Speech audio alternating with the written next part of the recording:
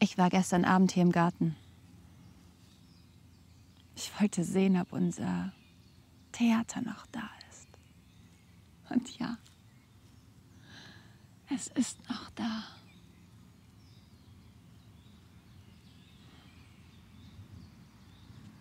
Ich habe gestern Abend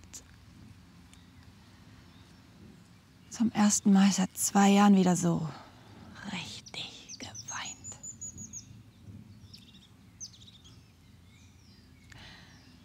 Danach war ich frei am Herzen und klar in der Seele.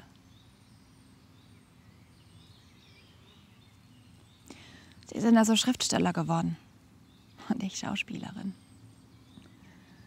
Beide sind wir in den Strudel hineingeraten, was?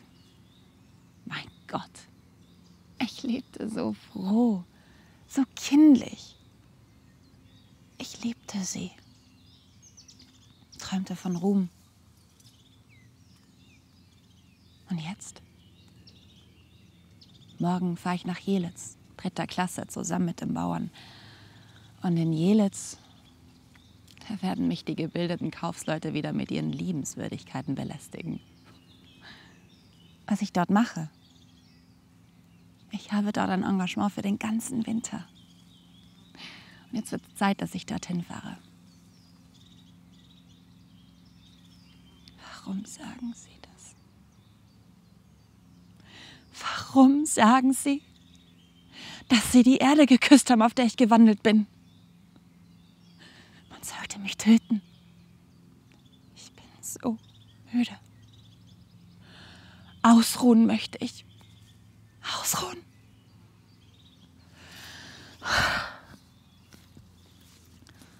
Ich bin jetzt eine Schauspielerin. Er ist auch hier. Nun ja. Tut nichts. Er glaubte nicht ans Theater, machte sich über meine Träume lustig. Und nach und nach hörte auch ich auf zu glauben, verlor den Mut. Und dann der ewige Liebeskummer, die Eifersucht, die ewige Angst vor dem Kleinen. Ich wurde so klein und jämmerlich, spielte völlig sinnlos, konnte mich kaum auf der Bühne halten, wusste nicht, wohin mit meinen Händen, konnte meine Stimme nicht kontrollieren. Sie kennen diesen Zustand nicht, dieses Gefühl, wenn man völlig abscheulich spielt. Aber jetzt, jetzt bin ich eine richtige Schauspielerin. Ich spiele mit Lust, Begeisterung.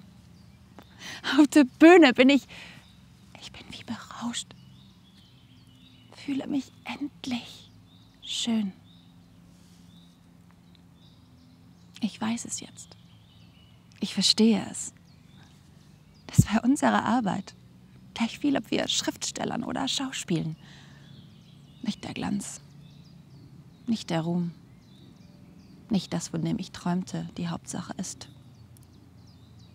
sondern die Fähigkeit zu dulden Lerne dein Kreuz zu tragen und glaube. Und ich glaube. Und das lindert meinen Schmerz. Und wenn ich jetzt an meinen Beruf denke, dann habe ich keine Angst mehr vor dem Leben. Denn ich bin die Möwe.